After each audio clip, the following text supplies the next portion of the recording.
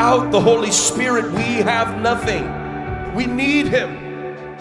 This morning, Jesus will come to you, put His arm around you, dip you into that river of Holy Spirit fire.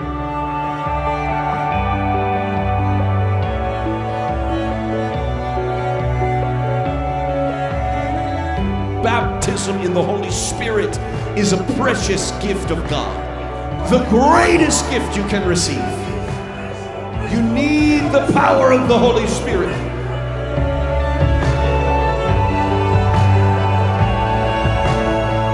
Tonight is your night. They will change your life forever.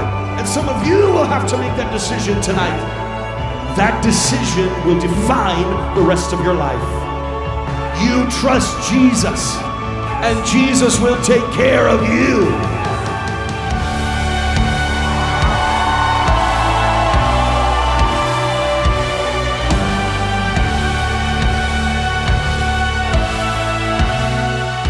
When you meet Jesus, you have to talk different.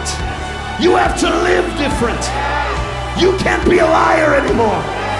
You can't be a thief anymore. You have to become a follower of Jesus.